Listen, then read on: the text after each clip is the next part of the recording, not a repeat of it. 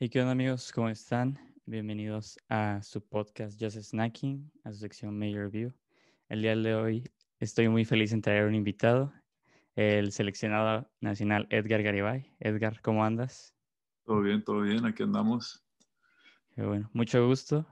Para la gente que no te conoce muy bien, ¿quién es Edgar Garibay? Ah, soy, bueno, la gente me conoce como deportista, soy jugador de, de básquet profesional, también soy seleccionado nacional con la, con la selección varonil de, de básquet de México, llevo con ellos desde el 2014 y este último año jugué en la Liga Profesional de, de, México, en la LNBP, con el equipo de Fresnillo de Zacatecas. Muy bien. La neta no me ha tocado verte jugar en vivo, pero qué chido que le caíste. Espero pronto poder verte jugar en vivo, ya que se renaduen un poquito más estas cosas. Y quería, la primera pregunta es un poquito así como para romper el hielo. Quería saber a qué hora te levantaste hoy. Hoy me levanté a las ocho y media. Tuve la alarma, la tuve a las ocho y media de la mañana. ¿Cuántos años la clavaste? De hecho, me batallé, batallé un poco para clavarla. Yo no empecé a jugar básquet a los que tenía, creo que tenía como 13 años cuando comencé a, jugar básquet. Entonces, mi primera clavada creo que fue como a los 16, 16 años, fue la primera clavada. No, bro, de todas formas es una edad, pues joven, la verdad, para, sí. las personas. Pues creo que la historia me ayudó bastante. Sí, y vi que comentabas en un podcast que usaste el deporte como un vehículo para tus estudios porque la educación allá en Estados Unidos es muy cara, ¿cierto?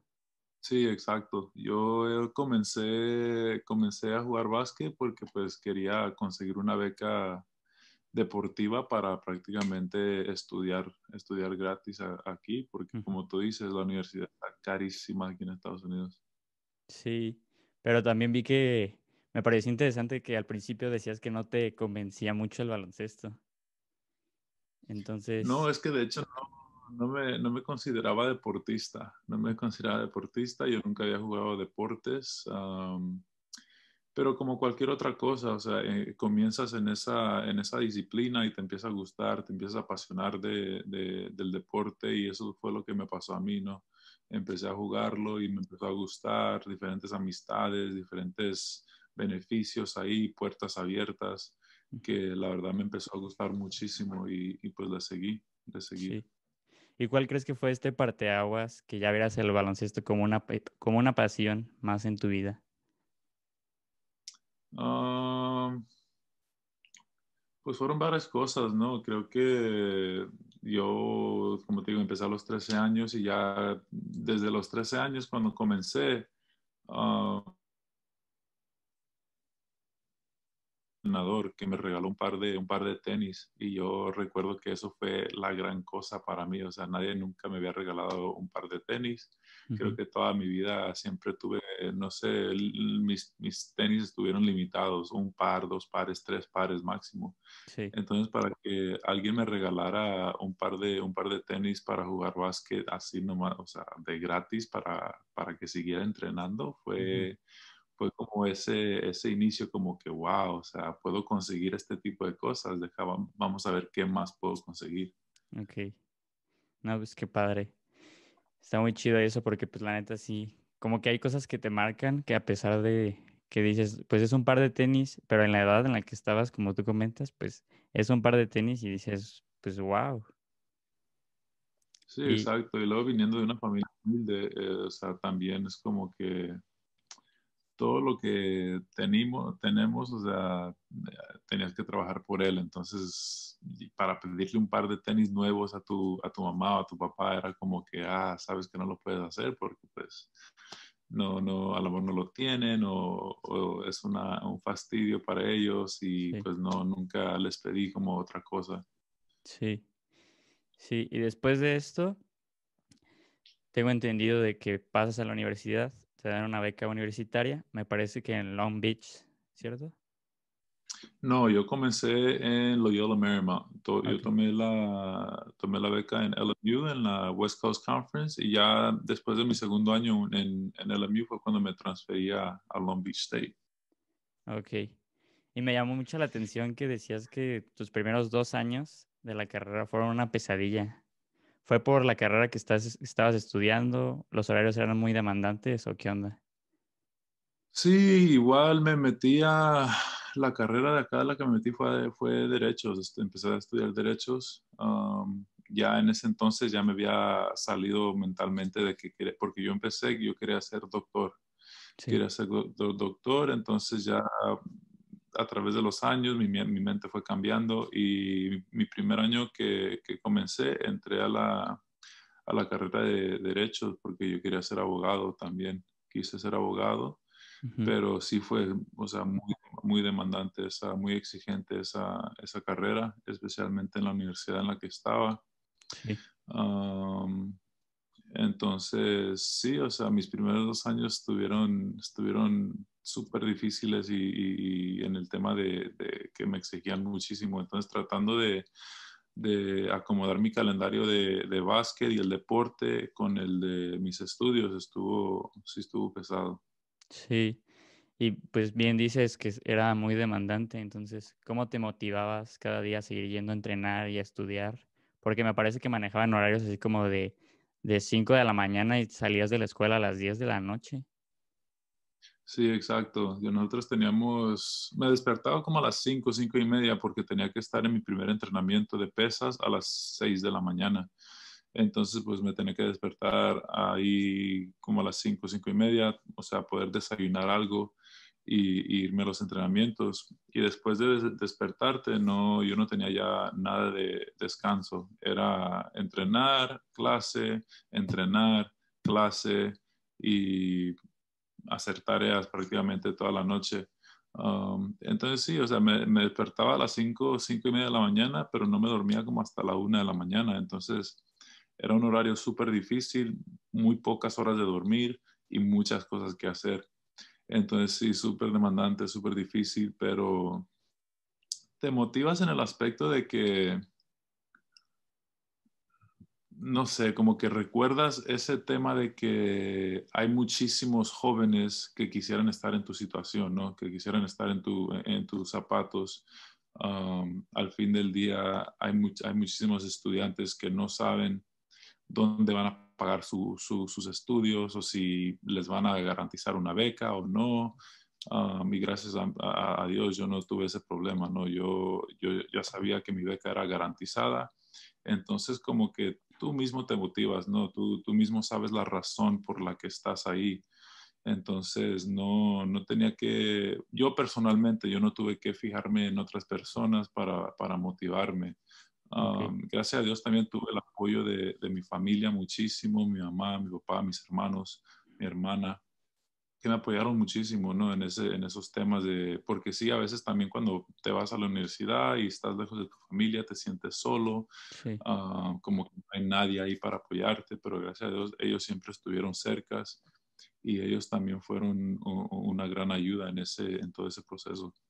Sí, creo que la familia es esencial en estos procesos porque es la que siempre está contigo y la que siempre te está apoyando día a día. Y eso que mencionas de que no tomaste como algún, alguna persona que te motivara, ¿no tienes como algunas influencias en el baloncesto? creciendo en Los Ángeles siempre tuvimos influencias en el baloncesto, o sea, hasta yo, yo, crecí la verdad en la, en la era y la época de, de Kobe Bryant y Shaquille O'Neal cuando estaban dominando la NBA o sea, estamos hablando del 2000, 2001, 2002, donde ganaron tres campeonatos seguidos. Entonces, eh, son, son dinastías, ¿no? Que en el baloncesto que, que siempre son inspiradoras para, para jóvenes. pero así que digas un jugador que, que, admiro, mi ídolo, cosas así, nunca, nunca tuve, nunca tuve ídolos no superficiales, pero no tuve ídolos que yo no conocía personalmente. Para mí mis ídolos era, era mi mamá, o sea, mi ídolo, mi ídolo era mi mamá, o sea, viéndola todos los días, lo que hacía, uh, los sacrificios que tomaba para, para nosotros, para sus hijos, um, el esfuerzo, el trabajo, o sea, todo lo que hacía ella, um, la verdad yo lo, lo, admiraba. Entonces siempre, siempre fue esa figura para mí creciendo. No, pues Qué bonito y qué padre. Y le mando un saludo a tu mamá y porque ella hizo crecer a Edgar Garibay y pues ahorita eres el hombre que tú eres. Y para esto, tengo entendido que ya habías jugado ciertos partidos en la NCAA. Sí, yo pues yo estando en la universidad ya nosotros estamos en primera división, lo yo lo mismo, estamos en primera división, estamos en la conferencia de WCC, West Coast Conference, con equipos como Gonzaga, St. Mary's. Um, y entonces sí, mi primer, mi primer año yo jugué, creo que mis primeros seis juegos um, de titular y pues desafortunadamente el séptimo juego fue cuando me lesioné la rodilla que fue una lesión súper grave, fue el cruzado, me lesioné el, ligamento cruzado de la rodilla izquierda. Entonces, pues, o sea, ya creo que varios de nosotros en el deporte conocemos ese, este tipo de lesiones y es una lesión que, que nos da de baja por lo menos ocho meses. Ocho meses te operan, tienes que rehabilitar tu, rodilla y no nomás la rodilla, o sea, también tu mente, porque mentalmente terminas, terminas, o sea, ido de la mente, o sea, no, no puedes entender por qué pasaron las cosas y luego cuando regresas a cancha, no regresas con esa misma seguridad en ti mismo. Cada vez que brincaba, cada vez que hacía un cambio de dirección o cosas así, o sea, yo tenía ese miedo de que me iba a volver a lesionar. Entonces fue, fue todo un proceso, la verdad, fue un proceso también difícil en, el tema no nomás físico, pero también mental. Sí, sí, eso que comentas, por ejemplo, yo me he lesionado el tobillo también jugando y si es, si es un proceso y si es como esa impotencia de el ver a tu equipo y ver que les puedes ayudar hasta cierto punto y tener que estar pues sentado en la banca viéndolos, pues... Exacto jugar y pues tú te sientes como con esa impotencia de, pues podría estar ahí yo y pues por una lesión tengo que estar aquí afuera. Exacto. Y también fuiste a la Drew League, me parece, ¿es cierto?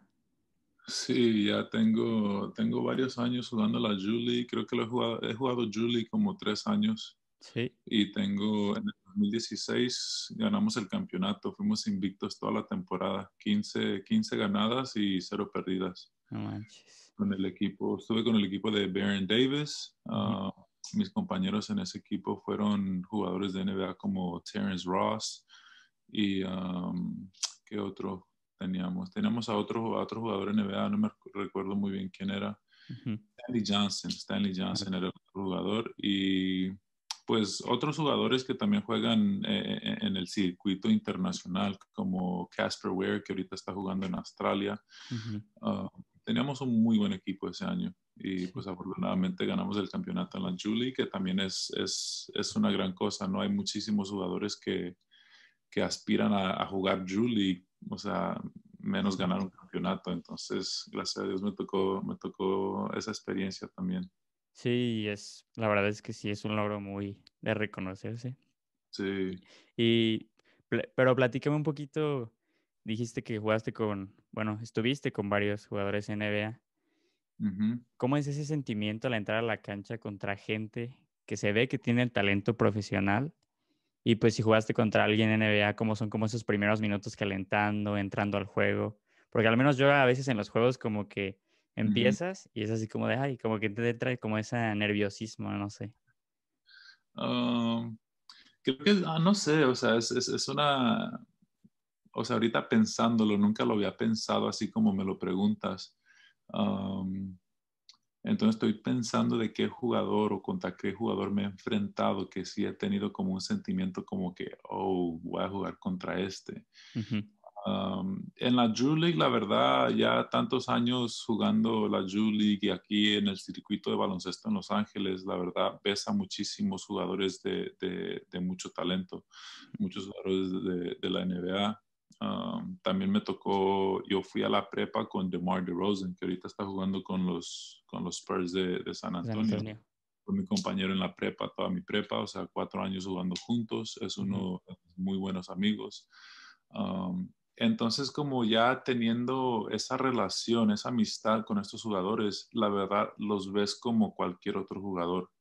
O sea, yo la verdad los veo como, como mis amigos, entonces no, no, me da como ese shock, como que, oh, damn, voy a jugar contra este. Sí. Creo que la única, la única vez que me ha pasado donde, donde sí me quedé como sacado de onda fue cuando estaba con la selección de México y nos tocó jugar contra Grecia en Italia para el repechaje. Y Giannis Antetokounmpo estaba en ese equipo jugando para Grecia.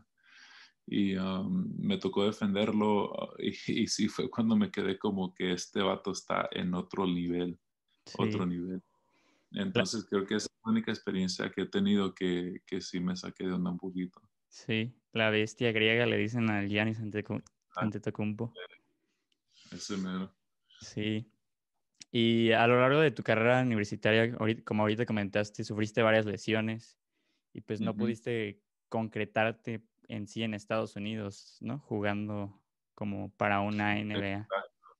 Menos seis juegos, la verdad, era el novato maravilla en mi universidad.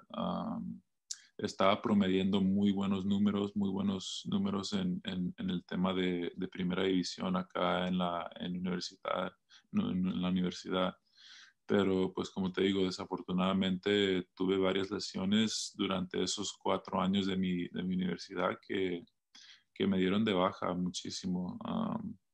no nomás en el tema de, de, talento, pero como te digo, el aspecto mental es algo que también tuve que trabajar muchísimo. al fin del día nunca, nunca termina siendo el mismo jugador. Sí porque pues ya, o sea, cambios, cambios físicos a, tu cuerpo, o sea, sea una lesión de rodilla, una lesión de Aquiles, cualquier cosa. Ah, entonces, sí, como tú dices, mi carrera universitaria fue, fue un, fracaso prácticamente, o sea, mis primeros seis juegos estuvieron de maravilla, ya después de la, después de la lesión, nunca como que, como que nunca agarré ese ritmo de nuevo, nunca agarré ese ritmo de nuevo y yo de verdad, yo después de mi último año, yo ya estaba retirado, yo ya, me, ya, ya, no, ya no tenía planes de jugar, jugar básquet. hasta que un agente me marcó un día y, y, me preguntó que si todavía quería jugar, que tenía la oportunidad de jugar en, en, en, la Liga Profesional de México. Y fue cuando todo empezó de nuevo. ¿Y cuál fue tu impresión al volver a regresar a las canchas aquí en México? Mi impresión, la primera impresión fue que yo no sabía que había, había básquetbol profesional en México. Esa fue mi primera impresión. Ah, ya llegando a las canchas de México, vi, vi que, sí, que sí había muy buen nivel en, en México. Y eso también me, me, gustó mucho, ¿no? Ver a, ver a, compañeros, a otros jugadores mexicanos que también eran, eran como yo, o sea, jugando a un muy buen nivel, me interesó bastante. Y, um, y sí, o sea, fue, fue, donde, fue donde aterricé y, y, ahí empezamos a, a, darle de nuevo y gracias a Dios me, me, me, pude, me pude mantener con salud, ¿no? Físicamente. Y y empezamos a agarrar vuelo de nuevo, empezamos a agarrar confianza poco a poco, temporada tras temporada. recuerdo cuando me convocaron por primera vez a la selección, también, o sea, fue un día muy, muy sentimental para mí, o sea, porque yo lo sentí como un logro, ¿no? Muchos medios, entrenadores, o sea, hasta compañeros pensaron que pues yo ya no, ya no iba a jugar, hasta yo mismo pensé que ya no iba a poder jugar. Y y sí, o sea, esa batalla, o sea, entre mí mismo y, y, mis lesiones y mi mente, ah, fue una batalla que yo personalmente pienso que, que, la gané. Entonces fue algo muy bonito. Ah, la primera vez que, que me sentí como yo mismo, como yo, como sé que puedo jugar. y sí, entonces sí, mi llegada a México y las canchas mexicanas fue fue también una, una, larga historia, pero pues aquí estamos y gracias a Dios me, me fue muy bien. Me ha ido muy bien. Sí, sí, te ha ido muy bien y pues, muchas felicidades aún así. porque pensé lo que has pasado, investigué un poquito y sé que a veces pasaste por ciertos equipos y lograste concretarte en México a pesar de, como tú dices, de todas estas lesiones, de todos estos pensamientos mentales que a veces tienes que dices, sí podré, no podré, y pues sí se pudo y la neta, qué, qué chido. Y ahorita estabas hablando de, de, la, pues sí, de la selección nacional de aquí mexicana. ¿Cómo es convivir con estos compas de la selección como Paco Cruz, Gustavo Ayón, Jorge Gutiérrez? Pues que ya todos llevan mucha trayectoria. Sí, sí, la verdad es que son muy buenas personas. Aparte de muy buenos jugadores, o sea, talentosos, son, son muy buenas personas. Entonces, la relación que tenemos todos dentro de las selecciones es, en realidad como una hermandad. Es una hermandad y todos nos llevamos súper bien, todos nos, nos, hablamos súper bien, todos nos, la verdad, nos consideramos familia yo los considero como mis hermanos. no hay ninguno que no le pueda marcar a cualquier hora y ellos van a estar ahí, ahí por mí. Y pues también viceversa, ¿no? O sea, también yo para ellos. Y, y es, es, es, una bonita experiencia, es una muy bonita experiencia convivir con, con o sea, me atrevo a decir que tus mejores amigos, más aparte, pues tus colegas, porque al fin del día estamos haciendo el mismo trabajo y representando a todo un país, ¿no? O sea, un sentimiento súper bonito estar ahí y compartir canchas con jugadores como, como ellos. Sí. Y ahorita comentas que pues se tratan como una familia, como mejores amigos, pero dentro de la cancha, ¿ustedes cómo son contra otras selecciones? Pues creo que no sé dónde salieron los, los, nombres de los 12 guerreros, no, pero creo que eso es una muy buena definición para, para los jugadores que están eh, dentro de la selección y, y, y se ponen esa, esa, camiseta, ¿no?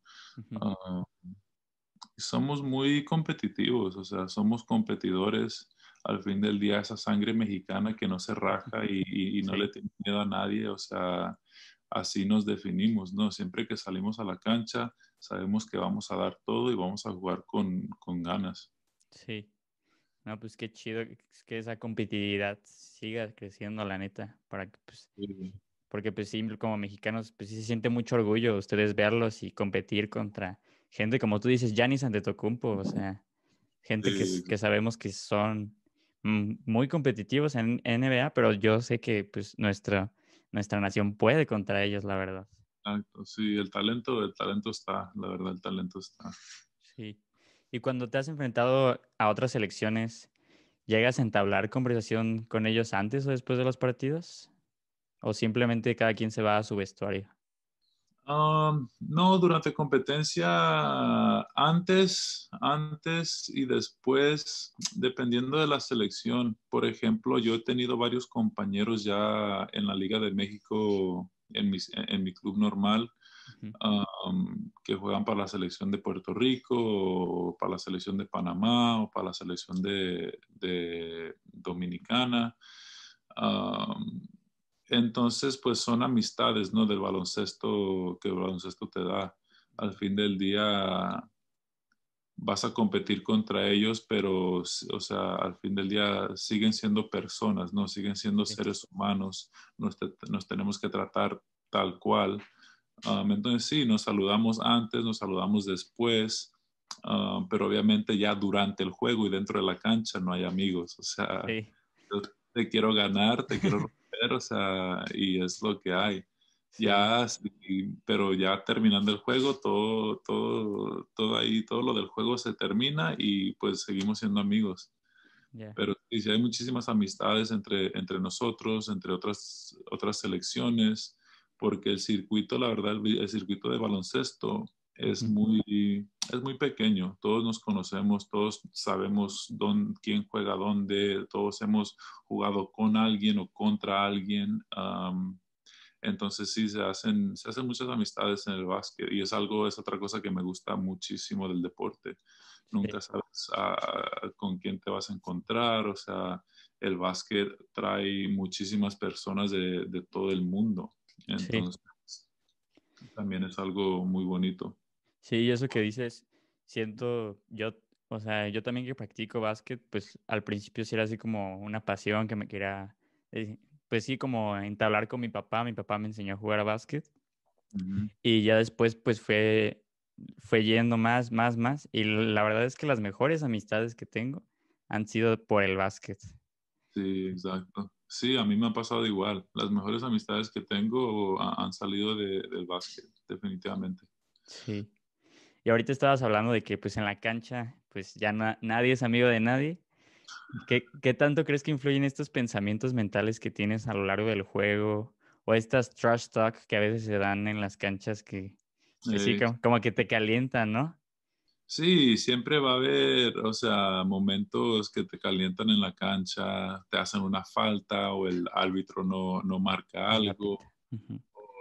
como tú dices, así tienes a otro compañero, otro jugador del otro equipo hablando pendejadas.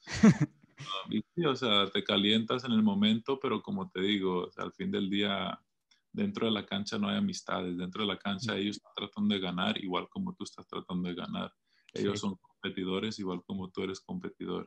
Entonces, deja todo eso fuera, enfócate en el juego, enfócate en ganar, qué es lo que puedes hacer para ayudar a tu equipo a ganar y todo lo demás fuera de la cancha. O sea, si tienes problemas con la novia, con tu hermano, con cualquier cosa, eso es otra cosa que me gusta muchísimo del básquet. Yo cuando entro a la cancha como que todos mis problemas se me olvidan y estoy enfocado en el juego y en el momento y es algo, la verdad, que, que, me gusta muchísimo, que me gusta muchísimo, que como que puedo jugar básquet y todo lo demás se me olvida.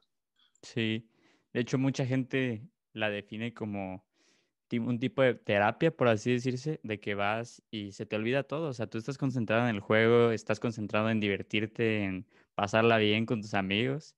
Exacto. entonces es como algo muy chido también, la neta. Pero no tienes como algún tipo de ancla para que no te saquen de tu zona, así. Sí, creo que todos tenemos una ancla para decirte cuál es, la verdad, no. Ah, siempre he sido una persona súper tranquila. Ah, hay muy pocas cosas en esta vida que me molestan. Entonces, alguien que está haciendo trash talk, la verdad, no, no me saca de mi juego. Ah, si me golpean o me hacen una jugada así sucia, con que no sea una jugada sucia donde me estás tratando de lesionar, ah, o sea, yo no tengo ningún problema, porque el básquet al fin del día te van a pegar, te van a empujar, te van a, o sea, es parte del juego. Sí, es parte del juego. Eh, me ha tocado conocer a varios jugadores también que tratan de lesionarte. Entonces, eso es cuando la verdad no me gusta, o sea, sí me caliento un poco cuando veo cosas así porque hay, hay una diferencia entre jugar duro y jugar fuerte y jugar sucio. Entonces, a mí no me importa que jueguen duro conmigo, que jueguen físico conmigo, pero, o sea, no, no seas un jugador sucio, es lo que, no me, lo que no me gusta. Pero aparte de eso, o sea, muy pocas cosas me sacan de mi juego. Ah, pues qué, qué chido. Yo la neta, por ejemplo, cuando suelen hacer como ese tipo de trash talk que casi siempre lo hace mi papá cuando estamos jugando uno a uno, lo, que hago es como que me caliento y empiezo a jugar mejor, entonces a mí me funciona de repente como que lo, no sé, como lo transcribo a que tengo que jugar mejor y que le tengo que ganar. Sí, sí, sí, sí. No, o sea, sí, es algo bueno, lo usas como motivación o como ese juego para aprenderte un poquito más. Sí. Como que te depende el chip, como que, ah, este, este man quiere jugar así, ok, déjale enseño que, quién manda. Sí. Eh, y ¿Cuál crees que es el secreto de tu éxito deportivo, a pesar de tus lesiones como jugador y tus pues, subidas y bajadas en tu carrera? el trabajo, la verdad, el trabajo, el trabajo y el esfuerzo, el sacrificio, la disciplina, creo que una combinación de todo eso es lo que me ha ayudado y, lo que me ha llevado al éxito en, mi carrera. Ah, porque yo después de mi primera lesión, yo pudiera haber tomado la ruta fácil y decir, no, sabes que ya me lesioné, ya mi carrera ya terminó, pero no, no, no, no me puse en ese tema, me puse en el tema de que no, sabes qué, voy a salir de esto, voy a rehabilitar muchísimo, voy a trabajar y esforzarme, voy a sacrificar mis fines de semana, voy a sacrificar que que saliendo con amigos, o sea, para trabajar en lo que yo necesitaba trabajar, para volver a llegar al tema de, poder jugar a un alto, a un alto nivel. Entonces, sí, o sea, la receta para el éxito, en mi opinión, nunca cambia. Siempre ha sido el trabajo, siempre ha sido el esfuerzo, la disciplina, el sacrificio. Son, son cosas que no pueden fallar eh, en cualquier persona exitosa. Ah, y eso es lo que eso es lo que lo que pasó conmigo y en mi situación. No, no me di por vencido y seguí luchando y sigo luchando. Siempre, siempre va a haber algo con lo que tengas que luchar en, en, esta vida. Nunca vas a superar algo y luego va a llegar otra cosa que vas a tener que superar y así vas a tener que seguir dando paso por paso por paso cada vez. Sí. Y ahorita, pues es que es algo que no nota mucha gente, la verdad. Piensan así como en cualquier deportista, así como, ay, pues está jugando fútbol, eso está bien fácil, o ah, está jugando básquetbol, está bien fácil, hasta cierto punto, así como de, ah, pues todos lo pueden hacer, pero el sacrificio que hay detrás de cada partido, el sacrificio que hay detrás de cada viaje, pues sí se, se siente, la verdad. Entonces, quería preguntarte que cuál crees que es el sacrificio más grande que has hecho en esto? Porque sé que te la matas entrenando dos horas, tres veces al día, eres muy disciplinado, pero ¿cuál crees que fue ese sacrificio que diste para llegar en donde estás? Para mí personalmente, algo que sí me pesa muchísimo es el, sacrificio de, de no estar con tu familia, ¿no? O sea, tener que dejar tu familia por 10, 11 meses a la vez te pierdes días festivos, te pierdes cumpleaños, ah, te pierdes muchísimas cosas, bodas, o sea, muchísimas cosas. Creo que este último año con la pandemia fue el primer año que yo, el primer año en seis años que yo pude pasar Navidad con, con mi mamá y mis hermanos. que la verdad es algo que valoro muchísimo. Yo valoro el tiempo con mi familia muchísimo. Entonces, creo que es algo que no, que no ve la gente de cada día, ¿no? O sea, ellos nos ven como que, oh, estás jugando básquetbol profesional, estás viajando por todos lados. Ellos solo miran los viajes, solo miran que estoy jugando básquet pero al fin del día no es, no es un viaje de diversión, al fin del día es mi trabajo. No es como que, ah, ¿sabes qué? Ya me cansé de viajar, déjame regresar a, la casa con mi familia. No, o sea, yo no puedo hacer eso, yo no tengo ese lujo. Yo, si extraño a mi mamá, si extraño a mis sobrinas, si extraño a mis hermanos, no es como que le puedo decir a mi equipo, hey, ¿saben qué? Extraño a mi familia. Voy a regresar a casa una semana, los veo en siete días. O sea, no. yo firmé un contrato y tengo que cumplir con ese contrato y, es mi trabajo. Y la gente creo que no entiende ese aspecto. Eh, es un esfuerzo mental que creo que la gente, mucha gente no, no, no, comprende. no, es, no es tan glamoroso como la gente piensa. Sí. Sí, es que la gente solo ve lo superficial, lo de, ay, pues trae esta ropa o trae los tenis más chidos o, ah, ya se fue a Italia, ya se fue a Estados Unidos, este. Y es una vida, muy, una vida muy solitaria, una vida muy solitaria. Ah, o sea, yo, como te digo, ya, este es mi séptimo año jugando básquetbol profesional y creo que cinco de los siete años yo he pasado Navidad solo, yo he pasado año nuevo solo, he pasado mi cumpleaños solo, o sea, hay muchísimas cosas que las piensas y, dices, wow, a lo mejor no es tan chido como lo pensé.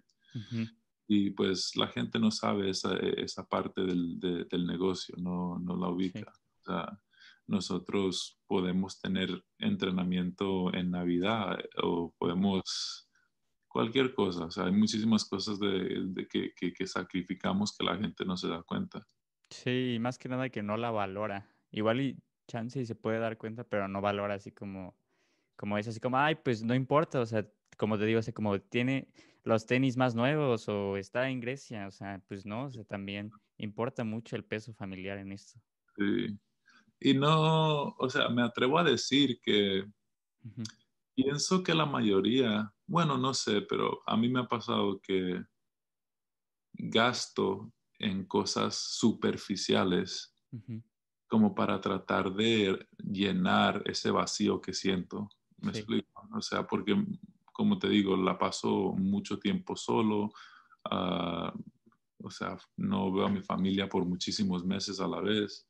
Entonces, creo que es normal, ¿no? Que, que, te sientas solo, que te sientas vacío, como que te hace falta algo.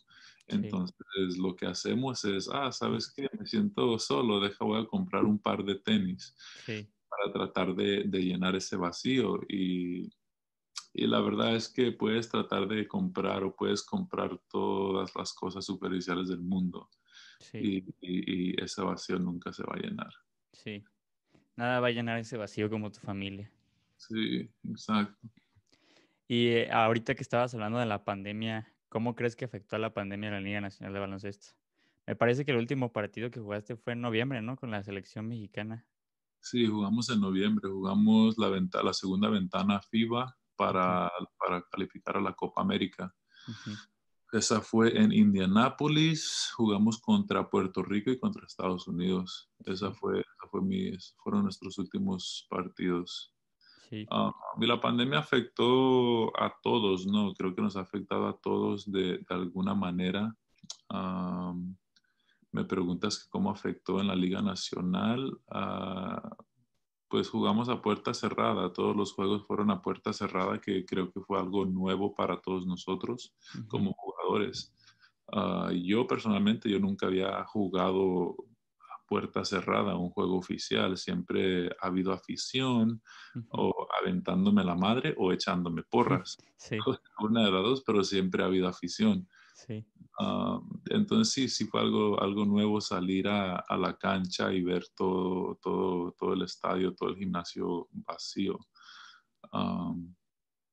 y ahí creo que fue una de, las, una, una de los temas que yo, ve, que yo vi más este, en esta pandemia atrás en el tema del baloncesto nacional. otra cosa fue pues todos los protocolos de, de, salud um, que tuvimos que, que hacer. Um, hubo muchísimos cambios de reglas que, que tuvimos que aprender por, por temas de salud. También, o sea, el tema de las pruebas PCR que realizaban cada siete días prácticamente. ¿Te tenían aislado? nos tenían aislados, no podíamos salir, todos estábamos en el mismo hotel, en el mismo piso. Sí. ¿Y, esto, ¿Y esto a ti cómo te afectó? Pues te afecta en el tema de que te sientes como que estás en la cárcel, eh, por decir, o sea, no puedes salir ni, ni, al súper, no puedes salir a, un restaurante, no puedes salir al cine, no puedes, o sea, literal te tienen encerrado, nomás puedes salir a, los entrenamientos, a los juegos, el resto del tiempo te la tienes que pasar encerrado en tu cuarto. por temas de contagios, o sea, igual te afecta si antes ya nos sentíamos solos, ahora pues eh, creo que eh, eso, eso lo, lo, afectó mucho más, ¿no? Sí. sí, fue algo, algo, fue un tema difícil, fue un tema difícil, pero pues no fue un tema que solo yo estaba pasando, creo que todos lo, lo pasamos en, algún, en algún tiempo. O sea, creo que todos nos mantenemos aislados o encerrados en un, en un tiempo de nuestras vidas este último año. Sí. Um, y sí, afecta, te afecta mentalmente mucho, muchísimo. Sí. ¿Y tú, tú qué haces? ¿Lees algunos libros? ¿Has leído algunos libros para pues mejorar estos pensamientos mentales, porque dices que muchas cosas sí son más mentales que físicas. Exacto, sí, de hecho, no nomás por la pandemia, pero después de mi primera lesión en la rodilla, sí. empecé a leer muchísimos libros como de psicología deportiva. Eh, y fue, y fue, fue, fue lo que me ayudó también, me ayudó muchísimo leer esos, ese tipo de libros, um, me dio como otra perspectiva de, de, mis pensamientos y cómo manejarlos. Um, y son, son libros muy, muy buenos, la verdad, no nomás para deportistas, pero o sea, gente de la vida normal también los puede leer y, y, puede tomar ciertas cosas de estos libros que, que le pueden ayudar en, en su vida. Ah, al fin del día, a mí me gusta muchísimo promover el deporte, sea baloncesto, sea cualquier tipo de disciplina del deporte, a mí me gusta promoverla, porque yo, yo la verdad creo que el deporte te ayuda a, organizarte un poquito más de lo normal, te ayuda en temas de disciplina.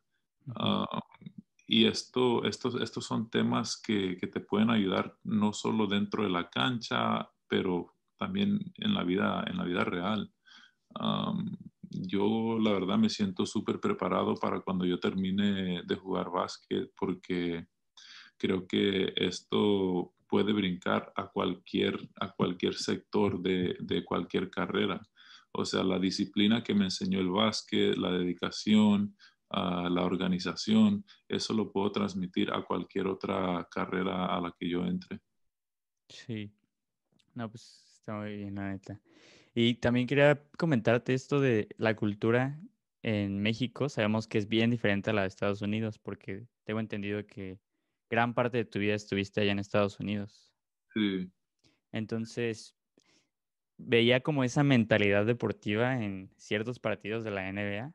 Por ejemplo, me acuerdo mucho un partido de los Raptors, de las finales de semifinales de conferencia pasada que, eran contra los Celtics y ganan por medio segundo, meten un triple y todos se emocionan y todo y ya después llegan con el capitán y se me hace que era Kyle Lowry, y le dice, pues, ¿cómo te sientes? ¿Qué tal está todo? Y así. Y él menciona así como, no, pues eso que vivimos fue muy bonito y todo, pero eso ya pasó. Eso ya ganamos y todo, pero tenemos que seguir jugando y ganar los siguientes. ¿Crees que, ¿Crees que esta cultura ha ido cambiando en, en, los años en México o crees que ha estado estancándose? Ah, pues yo, sí, si la gente me sigue en las redes sociales, yo siempre, siempre pongo una, una frase que, es, que, es, que dice for the culture, que es uh, para la cultura, ¿no? Um, y sí, yo desde que entré, desde que empecé canchas mexicanas, um, noté que la cultura del deporte en México es muy diferente a la de Estados Unidos. Sí. Um, no nomás en temas de, de, de cómo celebra, como tú dices, Kyle Lowry celebrando que ganaron, pero ahora eh, ya no hicimos nada, eso terminó a lo que sigue. Sí. Y, y, sí, o sea, son es mentalidades como, como esas que, que creo que eh, tenemos que empezar a cambiar un poco en, el, eh, en México si queremos seguir avanzando en el deporte, ¿no? La mentalidad de cómo entrenamos en México, ah, la mentalidad de cómo apoyamos el deporte en México. O sea, todo esto va abajo de, lo que le llamamos la cultura del deporte, ¿no? Y, y, sí, tiene, yo la verdad pienso que tiene que empezar a cambiar un poquito más, a mejorar un poquito más, porque estamos un poquito retrasados en ese aspecto de, de la cultura. Ah, el otro día estaba hablando con un compañero mío y en Estados Unidos los deportes, o sea, los ponen, los ponen arriba de, prácticamente todo. Es un, es, una, es un negocio multibillonario en Estados Unidos. hay muchísimos papás, mamás en Estados Unidos que apoyan muchísimo a sus hijos que quieren jugar deporte. Ah, entonces los impulsan muchísimo a, cualquier disciplina deportiva que quieran, que quieran hacer. Eso yo no lo veo en México. Muchos, muchos papás hasta les, les cortan las alas a estos niños, a estos jóvenes, y hasta les dicen comentarios como que, ah, ya deja ese deporte, no te va a llevar a ningún lado, ponte a estudiar. Y, y, eh, o sea, no lo entiendo, no lo entiendo. Yo la verdad quisiera sentarme con, con miles de papás para que me expliquen, o sea, a, qué se refieren. Porque para mí, a mí me el deporte me ha abierto muchísimas puertas no solo deportivas, pero, o sea, amistades, he conocido a muchísima gente a través del deporte. O sea, el deporte es algo que nos une a todos. Tú y yo, a lo mejor, o sea, podemos no hablar el, mismo idioma, pero si usamos la misma cancha, nos vamos a entender. no, no, no, vamos a tener que hablar el mismo idioma para entendernos en, dentro de la cancha. Entonces, o sea, son cosas así que creo que muchos padres que no fueron deportistas o no jugaron cualquier deporte no, no, no lo entienden. Entonces, no, no, me gusta esa cultura de que papás en México les cortan las alas a estos, a estos jóvenes y, y no, los, no los impulsan a ser deportistas o no, no los apoyan en ese aspecto. Es algo que la verdad yo no, no, no entiendo. Sí, y como tú dices, te abre muchísimas puertas desde tener amigos, desde conocer nuevas personas, hasta como te abrieron a ti las becas deportivas. Entonces sí es una cultura que a veces no tomamos mucho en cuenta, pero la verdad es muy importante. Sí, la verdad que sí, muy importante. O sea, como te digo, es algo que le, le, va a enseñar disciplina a estos jóvenes, le va a enseñar cómo organizar su vida, o sea, hay muchísimos temas muy productivos que les enseña a estos jóvenes y es algo que tienen que entender estos, estos padres. Sí. Y bueno, también quería preguntarte esto porque yo siempre he tenido como el sueño de tener una cancha personal, ¿no? Así como en mi patio, en, en mi casa. En... ¿Tú tienes alguna cancha personal? No, yo no tengo ninguna cancha personal, pero como te digo, o sea, he conocido a muchísima gente, tengo muchísimas amistades que o son directores de, prepas o universidades que la verdad me facilitan acceso a, diferentes tipos de canchas, a diferentes tipos de gimnasios, que la verdad me ha ayudado muchísimo en, en mi carrera, gracias a Dios. Sí,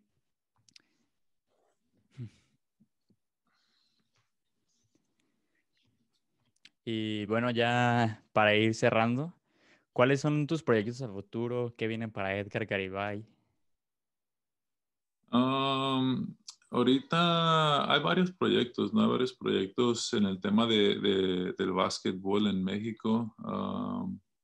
hay varios torneos, voy a, quiero hacer unos torneos a través de, de toda la República en diferentes ciudades quiero seguir con mis clínicas de, de, de, Edgar Garibay, quiero seguir con esas clínicas para jóvenes, para seguir desarrollando el talento mexicano en México y como te digo, para seguir tratando de cambiar esa cultura en México, ¿no? Quiero empezar a, a, llevar todo lo que yo aprendí en Estados Unidos en mi, en mi carrera, o sea, de prepa, en mi carrera universitaria, en mi carrera profesional, carrera como jugador seleccionado todo esto lo quiero, lo quiero llevar a estos jóvenes de, México para seguir desarrollando ese talento.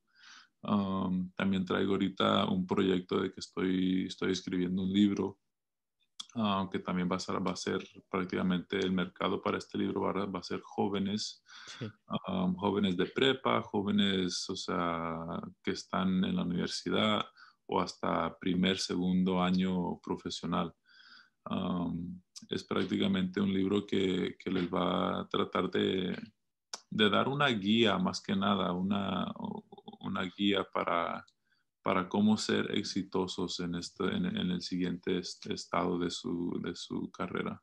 Ok. Y también, también tienes una, pues, una marca de ropa, ¿no?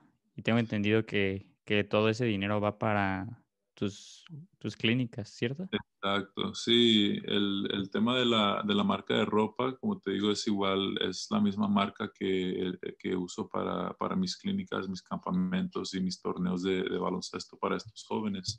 Esta idea de la marca de ropa se dio porque los primeros dos campamentos que hice, las primeras dos clínicas, um, yo lo tuve que pagar todo de mi bolsa. Y la verdad no me, no me pesó porque, como te digo, yo quiero ayudar a estos jóvenes, quiero seguir desarrollando el talento mexicano. Ah, pero obviamente quiero seguir con este proyecto. Y si, y si sigo recaudando fondos de mi propia cuenta, no sé cuánto tiempo voy a poder seguir haciendo esto. Entonces el tema de la marca empezó, empezó por eso mismo. O sea, uso todo el dinero de la marca para seguir avanzando con los proyectos de las clínicas, para seguir avanzando con los proyectos de, de, los torneos, de los campamentos para estos jóvenes en México. Entonces, todo el apoyo que agarro de la marca lo uso para seguir apoyando e impulsando el talento mexicano. Pues muchas gracias por seguir impulsando ese talento. ¿Y te podemos seguir en redes? Sí, yo solo te manejo Facebook y solo y, Instagram. Manejo Facebook e Instagram, estoy muy activo en Instagram. En Instagram estoy como Edgar Garibay 1. Ah, y sí, como te digo, estoy muy activo en las redes sociales, siempre estoy hablando con jóvenes que me mandan mensajes por, o sea, para consejos o cualquier, otra, o cualquier otro tema, estoy súper activo. También ah, yo y, y, mi hermano somos los que manejamos prácticamente la, la, otra cuenta, que es la cuenta de la marca, que es Edgar Garibay Oficial. Ah, y también estamos, estamos activos en, en, esa, en, esa, en esa cuenta. Entonces, cualquier cosa, cualquier pregunta, cualquier duda de, de este episodio, de este podcast, ah, sin miedo, adelante, me pueden mandar cualquier mensaje y ahí les respondo. No sé qué tan rápido les responda, pero eh, les voy a responder. Sí. No, pues muchas gracias por haberte animado a venir. La verdad es un gustazo y, y neta me da mucho orgullo poder platicar contigo. Sé que creo que el viernes tienes un partido, ¿cierto?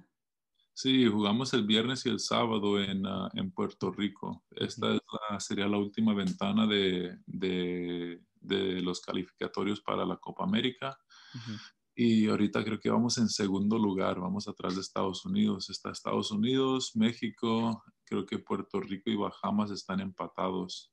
Entonces nos enfrentamos el, el, viernes contra, contra Puerto Rico y el sábado contra Estados Unidos.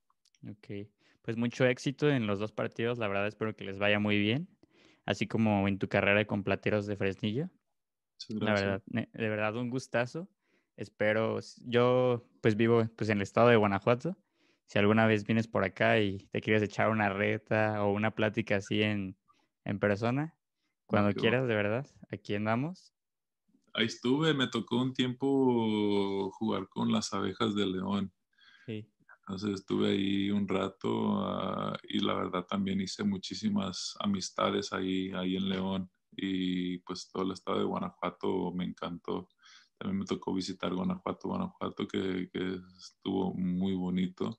Y, um, y, sí, o sea, saludos a toda la gente de, de, por allá que, que, me sigue o que es aficionada del básquet. Um, y me encanta, me encantaría visitarlos por allá un, un, día de estos. Sí, pues ya sabes, cuando quieras y hasta podemos armar un podcast ahí en Guanajuato, ya tú me avisas y lo armamos así chido en vivo. Y pues te digo, igual si te quieres echar una reta, no soy muy bueno, pero porque pues aparte yo creo que mides lo doble que yo. Tengo entendido que mides como 2'8". Exacto, 2 metros 8, sí. Sí, entonces pues ahí, ahí le haré el intento si nos llegamos a echar una reta. Y pues muchas gracias. Y pues para todos los que nos escucharon o vieron este podcast, les mandamos un abrazo. Y pues muchas gracias por habernos acompañado, Edgar. No, sé si me puedes dejar a tomar una, pues sí, una historia para Insta. Sí, sí, sí, adelante. Adelante. Es un boomerang, no sé si quieres hacer algo. yo te aviso cuando ya vaya a empezar. Ahí va. Una, dos, tres.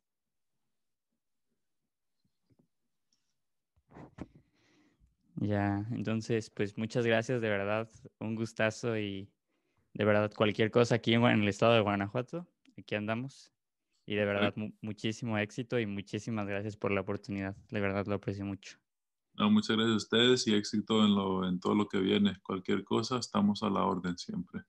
Vale. Feliz día de San Valentín. Igualmente.